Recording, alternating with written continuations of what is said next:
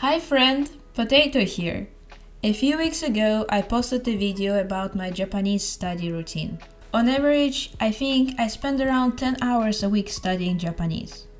So I thought, what if I spent 10 hours studying Japanese in one day? I feel like that would be an interesting challenge to see how my brain and study abilities hold up to it. Lately, I feel like I have not been progressing as much academically. I'm definitely getting better at expressing myself as well as understanding others, and my vocabulary is growing quite quickly. Yet, I do not do much with the N3 level in particular.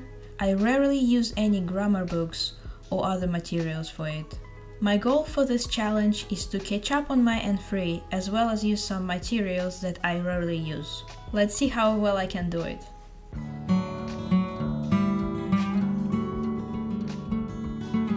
Yesterday I organized all the books for today as well as I wrote a rough time and a goal on each. I also stole this stopwatch from my boyfriend to track the time. Unfortunately, it only goes up to 99 minutes and 59 seconds, so I will have to divide the study into 6 sessions of 100 minutes. So, I woke up 26 minutes ago, made myself a cup of tea, and it seems like my study buddy for the day is my yesterday's migraine. I'm starting today with Nihongo Somatome Goi. I've had this book since July, but this is the first time I'm using it. I think this book series is meant for pre-JLPT exam revision, as they're all divided into weeks. For instance, this book has 6 weeks and you're meant to do about 2 pages per day. My plan for today is to complete Unit 1 or Week 1. I finally took a shower and I think I feel a bit better. I think I'll be taking quite a lot of breaks today to be honest. I'm finishing up with this vocabulary book right now and I got 14 out of 20 on the quiz at the end of the unit. I didn't have breakfast today, I never do. It would instantly make me sleepy, so I decided not to play with fire. Now I'm getting really hungry, so I ordered some food, and weirdly enough for me, kanji usually requires the least amount of brain power, I also have Nihongo Somatome for kanji and I actually completed the first week sometime around August, so I'm going to review it and I'm planning to do week 2 as well later today. Hopefully food comes soon. First 100 minutes done and now I'm going to watch an episode of anime while I eat my breakfast slash lunch to make up for a late start. I feel so much better after having some food. I'm going to finish up this kanji book right now and I think I might also do some online quizzes to check where I'm at on my N3 level. I had to stop recording and put my phone on charge, but I have finished two units of kanji book and I also sneaked in another episode of Black Clover after I did a few quizzes. Now I think I'm finally ready to do some grammar. I do not know what's going on with me today, whether it is lack of sleep, energy, or I'm just stupid, but the grammar is really doing a number on me. When did N3 become such a pain? Even the vocabulary. I'm literally translating every single sentence with ChatGPT. I might need to take a break before I can do another chapter, because today's plan was to do chapter 3.1 and 3.2. By the way, for those of you who watched my Japanese study routine video, here is my bingo for this week. And today is probably going to be the day I fill out most of them. It is starting to get a bit dark outside, and interestingly, I do not feel too bad, energy and motivation wise. I haven't touched kanji look and learn in almost half a year, so I thought it would be a good idea to go to the very beginning and highlight every word that I feel like I don't 100% remember. There are some very useful words in the beginning which seemed really unnecessary to learn two years ago, but now I think I might be ready to use them in my everyday speech.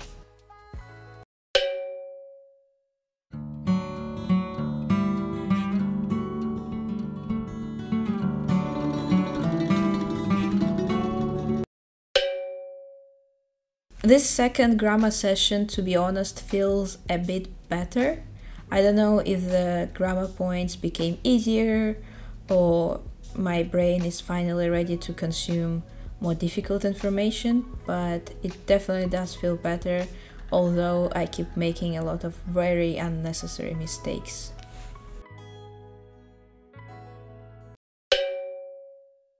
It has already been more than 5 hours since I started studying, so I think it is time for a bit of a longer anime break. Which isn't really a break since I still counted to the 10 study hours as I'm watching anime in Japanese, but I also am putting all of the flashcards together while enjoying the Black Clover episodes. I feel much more energized now after dinner. I'm ready to finish this challenge. I grabbed another grammar book, Yomo N4, that I've had for over a year now, but I never really got into it. I think it will be a great exercise to review N4 grammar and see if there is anything I need to revise more thoroughly. Another book that I haven't finished last year is Kanzen Master N4 Listening. I have just a bit left, so I'm going to try and finish it up today. Unfortunately, I wasn't able to finish up the listening book and it's getting quite late now. My brain is really not braining. I want to do something relatively easy so I have less than an hour left after the shower. I'm trying to do some kanji writing now, but every kanji is uglier than the previous one. I don't know if it's a weird position because I'm recording or there is an issue with my nerves and my hand is getting numb, but this is really embarrassing. my shower took longer than I thought as I was contemplating giving up this challenge. And then I failed to record 35 minutes of me reading Spy x Family manga. But this is the last book in the pile, and I have only 20 minutes left of the 10 hour challenge, and there are only 20 minutes left of today. So I don't think I have time to review chapter 1 to 3, so I'm just going to do chapter 4 now. Yay! I did it. I cannot believe I actually managed to do 10 hours of study today and do all that before 12 am. Oh my god.